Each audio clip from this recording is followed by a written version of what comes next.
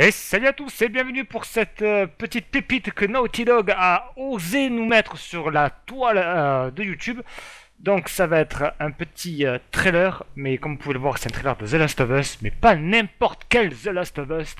The Last of Us Part 2 Donc en gros apparemment ils vont faire un peu comme les The Walking Dead, saison 1, saison 2, saison 3, qui va sortir dans pas longtemps, normalement mi-décembre, ou pas loin. Donc en tout cas ma femme c'est clair qu'elle va se jeter dessus pour le prendre, mais là pour l'instant on n'est pas sur The Walking Dead saison 3, mais sur The Last of Us Part 2.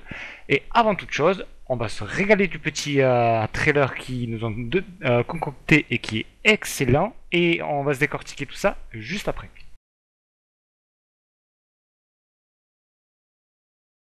Oh.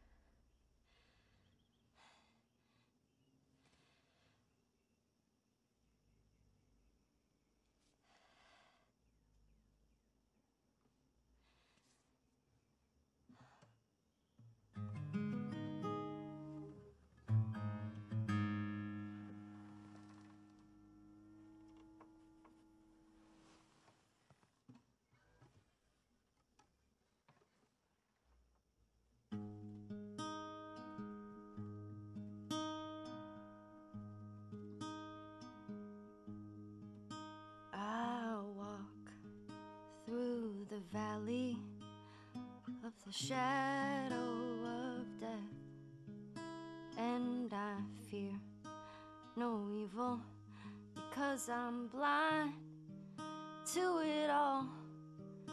In my mind, my gun, they comfort me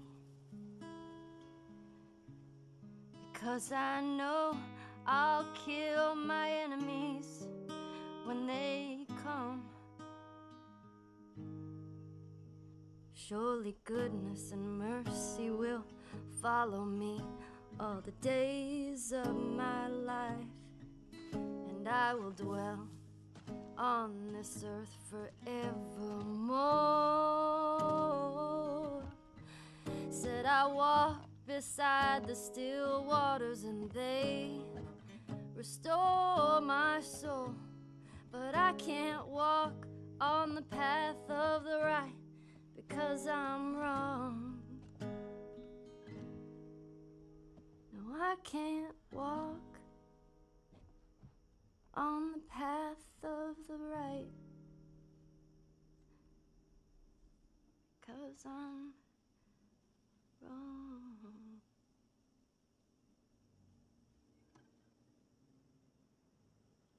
What are you doing, kiddo?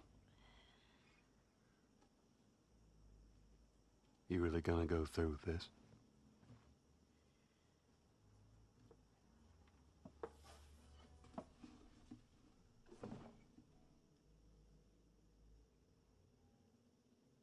I'm gonna find. And I'm gonna kill. Every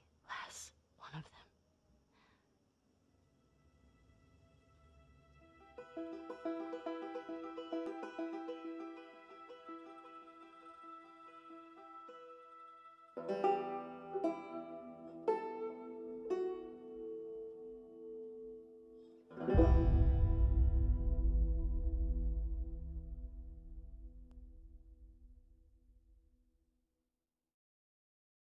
レイステーション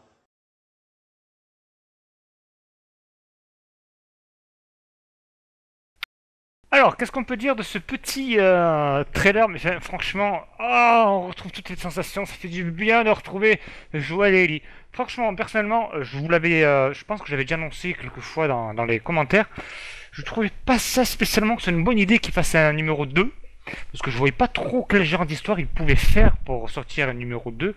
Ou alors nous sortir un, autre couple euh, du même genre que Joël et, euh, et Ellie. Mais j'arrivais pas à voir comment est-ce qu'il pourrait nous rejouer la même sauce sans nous en dégoûter. Parce que voilà, on s'est hyper attaché à Joël et Ellie euh, grâce à cette sauce là. Et nous la refaire une deuxième fois, ça nous aurait un peu gavé. Enfin, je pense personnellement que moi ça m'aurait. Enfin, pas gavé dans le sens où on, on connaît, on connaît déjà la magie, donc ça serait pas au- aussi bien opéré. Donc là, de rester avec les mêmes protagonistes, franchement, chapeau. Alors, donc oui, c'est bien Joël et Ellie, hein, évidemment. Donc Ellie qui est maintenant euh, jouée euh, par euh, Ashley Johnson. Donc je vous mets la petite photo juste maintenant. hein. Mais voilà, c'est Ashley Johnson, donc qui est apparemment chanteuse elle aussi, hein, puisque j'ai trouvé sa photo sur, euh, sur une chaîne YouTube qui diffusait une de ses chansons. Et euh, donc voilà, on, est parti de, sa petite image euh, d'enfant qui ressemblait à, beaucoup à Ellen Page. Et maintenant on passe sur Ashley Johnson. Dommage, on va dire. Euh, je la trouvais quand même beaucoup plus mignonne euh, Ellen Page, mais bon vu qu'elle est déjà prise pour euh, Beyond Two Soul, donc voilà j'imagine qu'ils ont été obligés, enfin ils n'ont pas pu poursuivre leur, évolution qui est le fait que euh, ressemblait à Ellen Page, donc maintenant elle ressemble à Ashley Johnson.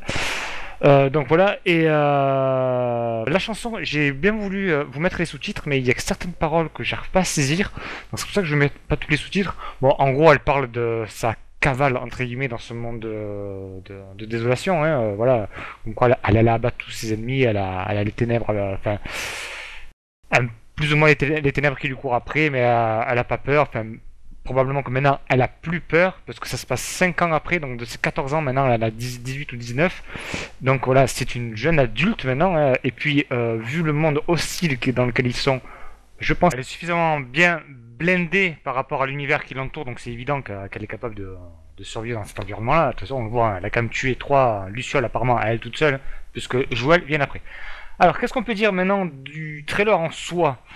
Eh ben déjà, euh, ma femme qui, à qui je viens de faire découvrir le, le trailer à l'instant euh, a remarqué un léger petit détail, mais concocté aux petits oignons par euh, les, euh, les développeurs qui nous font un sacré clin d'œil au menu de The Last of Us 1. Eh ben, c'est tout simplement la chambre dans laquelle est Ellie. Il suffit de regarder le bureau et surtout la fenêtre euh, de ce fameux bureau-là, c'est exactement la même, sauf que bon, il y a un peu plus de lierre sur le, bas de la fenêtre ce qui montre que bon, quand même le temps est passé. Mais sinon, c'est exactement la même chose que, que The Last of Us 1. Voilà. Sacré beau clin d'œil, hein, déjà ça. Et puis donc, en gros, ce qu'on peut voir aussi, c'est que à la minute, euh, je vous dis ça tout de suite. Voilà, à la minute, à la 37e seconde à peu près euh, du trailer, euh, on voit le symbole des lucioles sur le, sur le panneau stop. Donc comme quoi, là, ce- ce- cet abri-là aussi qui a toutes ces maisons, aurait été un camp des lucioles comme ça personnellement que je l'interprète. Après, je, je vous invite à poster en commentaire ce que vous vous y voyez à peu près. Et, euh, donc, ben, ensuite on voit que ça, la main d'Ellie, euh, bon, sur le départ on ne sait pas trop que c'est Ellie, hein, mais voilà, maintenant on sait que c'est elle, donc complètement défoncée à... Ben, on- pourrait dire comme si elle avait déterré quelque chose ou quoi, mais là, comme on voit pas qu'elle a les mains sales de terre, et quand on voit après, plus tard dans, dans, le trailer, on voit que voilà, c'est des mains euh, fatiguées euh, de, de cette bastonnée, quoi. hein, voilà, du sang. Enfin, on, voit que c'est surtout au niveau des, euh, des phalanges et, euh, et un peu au niveau des ongles que, que ça a saigné en tout cas. On peut aussi remarquer qu'elle s'est fait un petit tatouage, la, la, la vilaine. C'est une chose qui a dû vachement plaire à, à Joël. Euh, voilà, d'ailleurs, quand on voit qu'elle ferme le poing, hein, on voit bien que les, les- les blessures sont vraiment infligées là où il y a un impact sur la main. Donc voilà, on sent qu'elle a, qu'elle a bastonné. Et d'ailleurs, on sent qu'elle sort à peine de la baston, puisqu'elle tremble. Elle tremble tellement qu'elle est obligée de fermer le poing pour se concentrer un peu, pour se calmer. Donc certainement l'afflux d'adrénaline de la baston. Et après, elle arrive enfin à se détendre. Et enfin, elle peut se remettre à jouer de la guitare. Enfin, à se mettre à jouer de la guitare. Je pense pas qu'elle se remette. Elle se met à peine à jouer de la guitare. Donc euh, voilà, déjà, elle a fait un carnage. Alors, donc, toutes les personnes qu'on voit dans, dans la salle de bain, on en voit une euh, dans le salon tout court. Voilà, hein, on voit juste sa main dépassée. Après, voilà, on voit que Joël passe. euh, bah, D'ailleurs, non, on voit, on voit sa tête aussi euh, dans le salon. Après, Joël passe dans la salle de bain, donc on en voit un autre. Et enfin, celui qui est dans la chambre au pied de Ellie, euh, devant laquelle euh, elle joue la guitare. Donc, ce qui prouve que Ellie, elle est plus que. Euh, c'est plus qu'une forteresse par rapport à, cet univers-là, quoi. hein. C'est bon, euh, elle est blindée, Ellie. Euh, Voilà, elle vient de tuer quelqu'un, et normal, elle se pose telle une psychopathe, limite. hein. Mais bon, en même temps, je, veux dire, ce monde-là, par rapport au nôtre, les codes sociaux, c'est plus du tout les mêmes. Donc, je veux bien comprendre qu'elle puisse se poser comme ça. Voilà, elle a fait ce qu'elle avait à faire. C'est des choses qu'elle fait quasiment tous les jours, ou du moins qu'elle faisait quasiment tous les jours. Voilà, elle peut se poser et jouer de la guitare tranquille. Voilà, elle peut se détendre tranquille. Alors, est-ce que c'est pas aussi un truc qui fait que de jouer de la guitare, ce soit un truc qui puisse la calmer euh, pour euh, justement éviter qu'elle passe dans un excès de, rage, euh, comme si elle avait pris l'habitude de bah, d'être tout le temps en colère, tout le temps haineuse par rapport à un événement qui s'est passé, hein, ça on va en parler après aussi. Et donc du coup, bah, si elle joue pas de la guitare, si elle, si trouve pas un moyen pour se calmer, bah, elle va rester... elle- va s'auto-détruire euh, forcément, donc il faut qu'elle arrive à trouver un moyen pour, pour se calmer. Enfin, c'est un peu comme ça que je le vois aussi. Donc en tout cas voilà, elle a apparemment appris, à jouer euh, grâce à Joël. Non, de toute façon je crois que c'est même lui qui lui dit qu'elle euh, va lui apprendre à jouer de la guitare lorsqu'ils sont pas loin de retrouver les, euh, les Lucioles. Juste après l'hiver en fait, quand ils reviennent au printemps, il me semble que dans, dans cette route-là, il, euh, il lui dit qu'il lui apprendra à jouer de la guitare. Et euh... donc voilà, donc en effet, elle en joue, donc c'est peut-être ça qui, la, qui lui permet de, de- la calmer, vu que voilà, ça, l'apaise, elle, elle repense à Joël, donc euh, on sait que Joël c'est quand même son pilier, hein, donc euh, euh, ne serait-ce que son totem, hein, voilà, dans- pour, l'apaiser, il, a toujours été là pour, la couvrir, donc évidemment ça, c'est peut-être que sa, sa figure apaisante, figure paternelle qu'elle n'a plus évidemment. Et voilà, donc sorti de ça, après là on peut se dire, bon, certes. Maintenant on va venir à ce que se disent les, euh, les personnages. Donc Joël dit à Ellie, il lui dit, hé, comment ça va petite, donc ou ga- gamine, ou enfin en tout cas il lui dit un petit mot gentil. Et après il lui dit, tu crois que t'étais vraiment obligé d'en arriver jusque-là? Ou de, ouais, de, de, de, te tuer de cette façon, quoi. Voilà, c'est.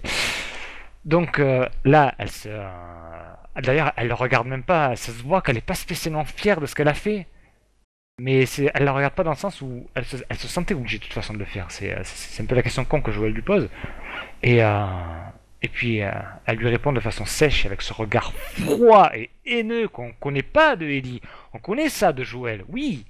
On connaît pas ça de Ellie. Parce que Joël, quand justement ils sont en, hiver et que l'équipe du, du cannibale ont capturé Ellie et que Joël capture l'un des deux gars qui le traquait pour, pour, pour faire sa, torture de, pour, pour, pour, se poser des questions. On sent que Joël là il rigole pas. Hein on sent que là Joël il a le regard haineux. Que si jamais il a pas de réponse, putain ça va chier. Et voilà, maintenant Ellie elle a ce regard là. Donc on voit qu'elle a vraiment souffert dans cette période de 5 ans là. Et, euh, et ça a dû vraiment arriver quelque chose d'énorme pour qu'elle en souffre à ce point-là. Donc en tout cas, elle lui répond, euh, et ça j'en suis sûr, elle va les trouver et elle va tuer le moindre d'entre eux qui puisse rester. Donc déjà, elle va faire un carnage, un, génocide de on ne sait quel camp, mais elle va défoncer tout le monde. Donc pour avoir autant de haine que ça, c'est qu'elle a au moins perdu autant de monde. Donc c'est là où j'en viens à mon hypothèse. Dans la fin du premier opus, donc c'est pas ce qui se passe, donc on- peut-être qu'elle le croit, qu'elle le croit pas. C'est pas mon problème. Moi, mon problème, c'est euh, qu'il retourne à la centrale hydroélectrique du frère de Joël. Si vous vous souvenez bien. Donc, ils sont censés vivre en paix là-bas, parce qu'ils avaient tout, nourriture, électricité, ils, pouvaient repartir ils pouvaient reprendre une civilisation quelque peu normale, voilà, ils avaient de quoi se défendre, peut-être qu'ils avaient trouvé une, une fabrique de, munitions, un peu comme dans The Walking Dead ou quoi. Donc, euh, voilà, pourquoi pas, ok. Mais apparemment, donc, souvenons-nous que les Lucioles voulaient à tout prix Ellie, mais vraiment à tout prix qu'il va devoir tuer Joël, pour euh, lui retirer donc son, son hippocampe, ou je ne sais plus quelle partie de son cerveau, pour pouvoir euh, bah, récupérer ce, cette partie-là qui fait que, bah, apparemment, elle est vaccinée face à ça, quoi, et c'est la seule à, l'être.